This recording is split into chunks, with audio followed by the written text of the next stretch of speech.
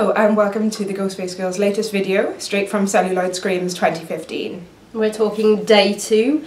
Yesterday kicked off with They Look Like People, which was a film about shapeshifters. Now, that's a mythology that isn't always explored in horror, so it was quite interesting that this micro budget indie film had taken that on. However, unfortunately, we weren't really too big fans of the film. Um, it was a little bit too slow paced, it didn't really delve into shapeshifter kind of like the concept enough, and it was kind of like a poor man's resolution or the battery. I think that's a key problem is we've perhaps seen too many of these films where there's sort of a, a really sort of close male friendship um, and if you don't get the chemistry right it doesn't really work. Yeah, I don't think anybody in the movie particularly had great chemistry. Um, I mean, it wasn't the worst film ever, but it's certainly not one that I'll be revisiting. Yeah.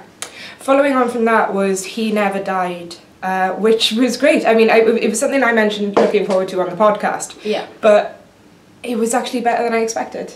It was great. Henry Rollins delivered a fantastic performance. I think it's going to be quite a memorable one.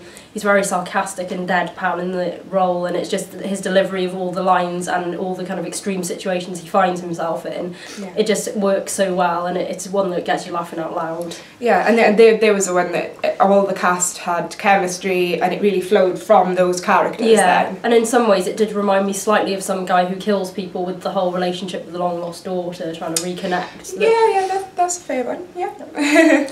And then following on from that is probably, I would say, our worst film of Yeah. the festival, which is Excess Flesh. Now, this was one we were a bit dubious going into anyway because it had been um, dubbed the uh, starry eyes of, of the fashion industry. However, the film didn't really explore the fashion industry in any depth whatsoever. It was just two really unlikable characters doing unlikable things.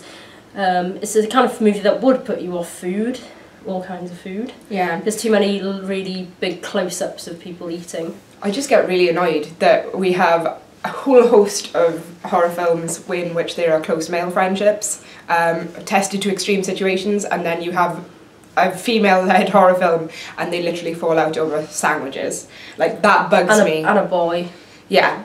So, Yeah. no, not pleased with that one, no. And, uh, and it just didn't kind of really do anything that interesting. I felt it was underdeveloped in terms of character development, and by the end, it, it just it lost its way completely. It just started just put throwing random stuff in, so the narrative wasn't even coherent, and I just I honestly lost the plot with it. So sorry, Excess Flesh, but uh, that's a no from us. Yeah.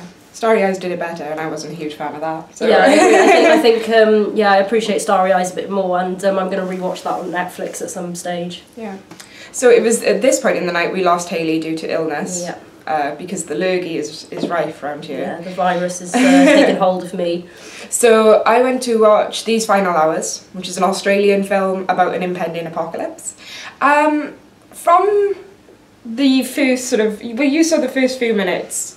Um, Before succumbing. yeah, and it, it's it's not got the greatest opening ever, but sort of as it is as it grows, the main lead actor and the young girl he, he- he's traveling with, they've got great chemistry. She, it's always difficult to find good child actors, I think, who are not sickly or anything like that. But no, she was really good. Um, so yeah, and there were tears during that one, not from me, but someone in the back. Yeah. Um, and then we had The Witch, which was one of the ones I was really looking forward to, have been And I for like was nearly a year. and I was disappointed by it. I mean, it's a thoroughly good film. Uh, you know, I'm not taking anything away from that. I just felt that it, yeah, it was a victim of its own hype. I, A bit like you know. Goodnight Mommy in some ways as well, I would say. Yeah, I th- yeah, I think. Yeah, there, there's sort of a point at, at which you, you kind of go, oh, I, I want something to happen now. I want to take this further. There's some really good imagery in there, but there's just not a full thing. And finally was the secret film, which uh, on this occasion was Darling, uh, starring Lauren Ashley Carter, who of course was in Jug Face a couple of years ago And the woman. and the woman. So, I've got to be honest, not my cup of tea. Um, I think it could do with being shorter, and it did rely a lot on sort of quite quite a screechy soundtrack. So yeah, I think it feel like it had a, in there somewhere was a good concept, but it kind of got lost to the style of it. Um, lots of sort of trippy sequences. There was even a warning before the film that it had flashing lights and everything like that. So yeah, I, I can't say I was thrilled by it, but I, I think everything yesterday, it was all about He Never Died. Definitely. He Never Died is the top film of the festival for us so far. Yeah. And we'll be back to talk about Sunday's offerings a little bit later.